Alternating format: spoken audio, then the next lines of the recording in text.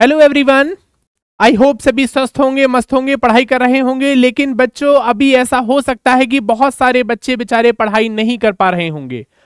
Board exam sir पे आ चुका है। बोर्ड एग्ज़ाम होने वाले हैं फरवरी में। इसके बाद, इससे पहले शुरू हो जाएँगे आपके प्रैक्टिकल्स और कोई तैयारी नहीं हो पाई है।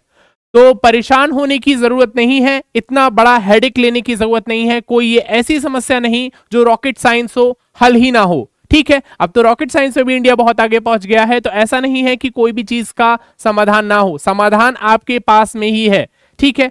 क्या समाधान है, उसे कैसे हम हल कर सकते हैं? बोर्ड एग्ज़ाम में कुछ तैयारी नहीं भी की है, तब भी अभी से सुधर कर हम अपने अंदर प्रयास करके नवंबर, दिसंबर, जनवरी में इतना बेहतरीन प्रयास कर सकते हैं कि अपने एग्ज़ाम में, अपने बोर्ड एग्ज़ाम में मार्क्स को 95 परसेंट तक गेन करा सकते हैं। और ऐसा होगा आप सभी के सामने, आप सभी के सामने जब क्या होगा, आपके माता पिता की माता पिता जो होंगे आपकी, आपके अखबार में न्यूज़पेपर में आपके लिए क्या देखेंगे बेटा? आपकी जब तस्वीर देखेंगे तो उनका जो आ, सीना होगा वो गर्व से चौड़ा हो जाएगा। पूरे मोहल्ले में आपकी फ़ोटो दिखाते घूमेंगे कि देखिए बेटा हमारा बेटा है उसकी आज फ़ोटो निकली है अखबार में है ना?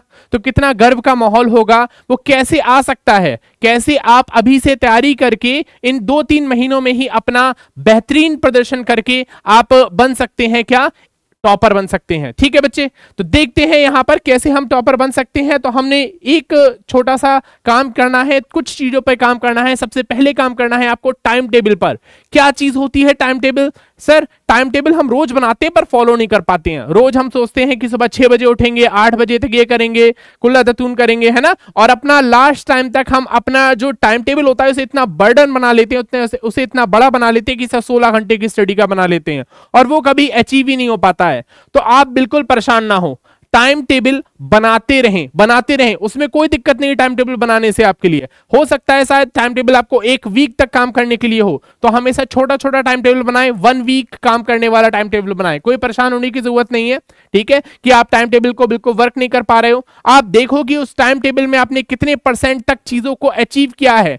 तो हो सकता है आपको हर एक वीक में टाइम टेबल बनाना पड़े, लेकिन कितनी सी देर लगेगी? दो, चार मिनट, पाँच मिनट अपने कार्य के बारे में सोचना है कि इस वीक हमें कौन से पोर्शन पे ज़्यादा मेहनत करनी है। वीकली टाइम टेबल बना सकते हैं और उस वीक में आपको Sunday Monday Tuesday Wednesday Thursday Friday Saturday last तक छह दिन का शेड्यूल बनाना है और संडे को उसका क्या करना है? टेस्ट करना है एनालिसिस करना है कि हम इस टाइम टेबल को कितने हद तक अचीव कर पाए, है ना? तो परेशान नहीं होना, अपने कंफर्ट जोन के हिसाब से जैसे कुछ बच्चे क्या होते हैं, वो दिन में जगने वाले होते हैं, दिन में अपना बेहतर कार्य कर लेते हैं, और कुछ बच्चे ऐसे होते हैं जो रात को बेहतर कार्य कर सकते हैं। तो आप अपनी स्ट्रेंथ को खुद देखो, अपना टाइम टेबल खुद फॉलो करो, खुद बनाओ, खुद के ऊपर इस पर जिम्मेदार रहो कि आप कैसे प्रकार के बच्चे हो, आप दिन में ज़्यादा बेहतर पढ़ सकते हो या रात में।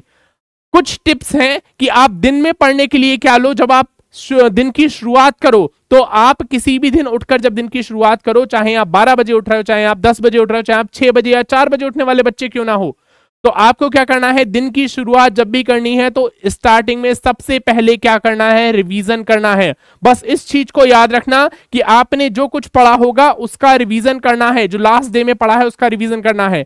और जब सोने जा रहे हैं, जब भी आप सोने वाले बच्चे हो, आप मान लो हम कुछ बच्चे होते हैं, क्या करते हैं? वो सर आठ बजे, नौ बजे सो जाते हैं और क्या बजे उठते हैं? वो तीन बजे या दो बजे उठ जाते हैं रात में। कुछ बच्चे ऐसे होते हैं, पढ़ाई करते हैं तो बोर्ड एग्ज़ाम की।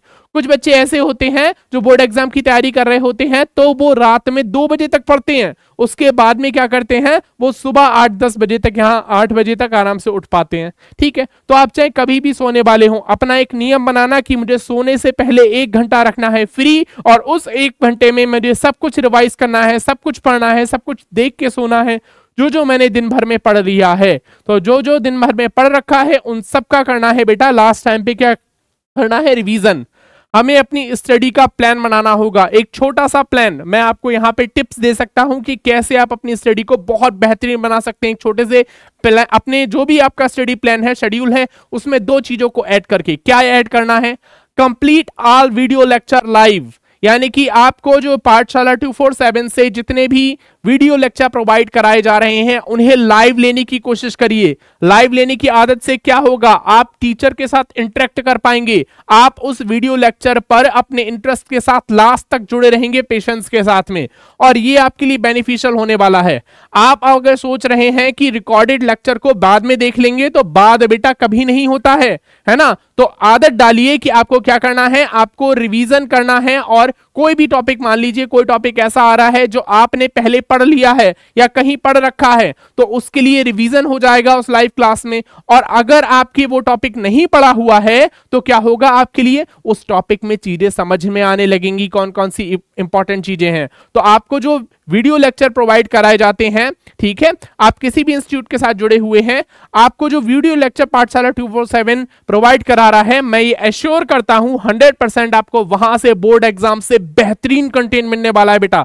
हमारी टीम ने लगातार कई वर्षों तक आने वाले पेपर्स पे एनालिसिस किया है और ये उसका कंक्लूजन निकाल के दिया है कि जो हम आपको यूट्यूब पर दे रहे हैं, ठीक है? जो आपको हम एप्लीकेशन पर दे रहे हैं, ये आपका, हमारी टीम का एक बहुत वर्षों की की गई क्या है आपकी? एक प्रकार से क्या गई? रिसर्च है, ठीक है? जिसके माध्यम से आप सबको बेहतर कंटेंट दिया जा रहा है। तो अपनी स्टडी प्लान में दो चीज़ों को जोड़ना है। एक चीज़ है आपकी कंप्लीट आर्ट वीडियो लेक्चर दूसरी हमारी एक सीरीज़ आने वाली है, जिसे हम ब्रह्मास्त्र सीरीज़ कहते हैं, ब्रह्मा सीरीज़ में जो जो क्वेश्चन होंगे आपके लिए, ये एश्योर करता हूँ कि 100% बोर्ड एग्ज़ाम से आने वाले क्वेश्चंस होंगे।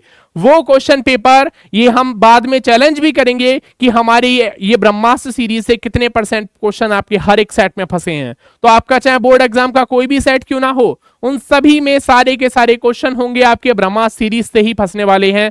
तो इन दोनों चीज़ों को ऐड करके चलिएगा और आपके लिए क्या होगा बोर्ड एग्ज़ाम में टॉपर बन जाना, बनना हो जाएगा बहुत ज़्यादा आसान। ठीक है बच्चे लास्ट में हमें एक चीज़ याद रखनी है, जो हमारी स्टडी के लिए एक बेहतर लक्ष्य तक पहुंचाएगी, जो हमारे लिए क्या करेगी, अपने लक्ष्य को प्राप्त करने में बहुत मददगार होगी। कौन सी बेटा? हमें देखना है, हमेशा करते रहना है रिवीजन एंड प्रैक्टिस ठीक है?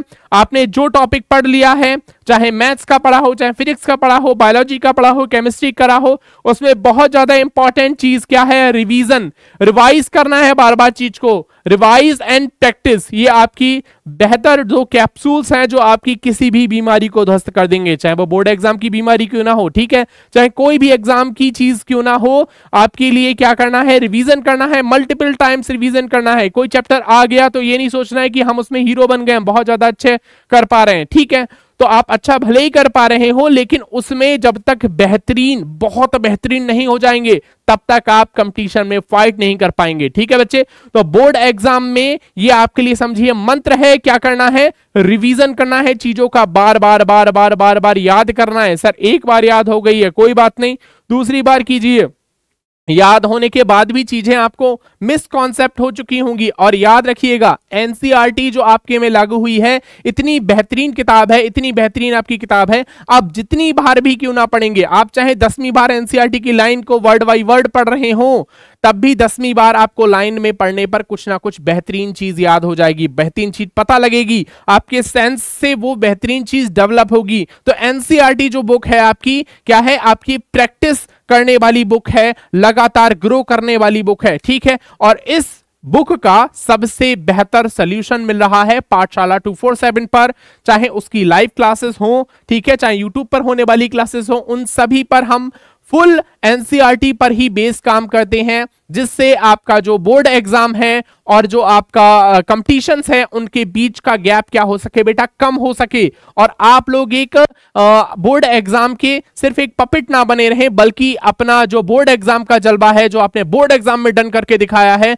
वही आप किसी कंपटीशन में भी कर सकें, ठीक है? कंपटीशन में भी प्रूफ कर सकें। ऐसा कई बार होता है। आपने देखे होंगे टॉपर बहुत बड़े बड़े टॉपर बने रहते हैं। 90 percent ninety two percent ninety five percent पर जब उनका कंपटीशन का रिज़ल्ट आता है, तब क्या होता है सर ज़ीरो डब्बा, कुछ नहीं आता होता है उनको।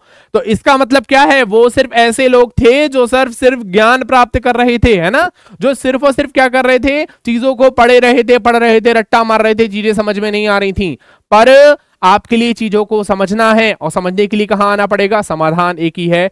पाठशाला टू फोर सेवन ठीक है बच्चे? तो हम लोग क्या करने वाले हैं? हमारी पूरी टीम इस बात पे लगातार अध्ययन करती रहती है कि कैसे क्या किया जाए, कैसे आपके लिए बेहतर से बेहतरीन कंटेंट प्रोवाइड किया जाए, लगातार प्रोवाइड किया जाए, जिससे आपकी जो स्टडी है, वो एक बहुत अच्छे लेवल पर हो सके, बहुत अच्छे लेवल पर हो सके। ठीक है बच्चे? चलिए तो आपके चाहे जितने वीडियो लेक्चर पढ़े हैं उनमें से चाहे जो भी कंटेंट है आपके लिए बार बार चीज़ों को पढ़ना है रिवाइज करना है। चैप्टर मान लीजिए आपने पढ़ लिया, बहुत अच्छे से आ गया है चलिए कोई बात नहीं, क्या करा? एक टाइम निकाला संडे का किसी दिन और रिवीजन कर डाला पूरे चैप्टर का। उस पर लगाए हुए सारे प्रैक्टिस सेक्शन कर डाले, ठीक है? मल्टीपल टाइम्स इसका रिविजन करना है मल्टीपल टाइम चीज़ों को देखना है और यही चीज़ आपके लिए क्या बनाएगी यही चीज़ आपके लिए 95 percent ninety percent eighty percent इन मार्क्स से उठाकर टॉपर्स बनाएगी। ठीक।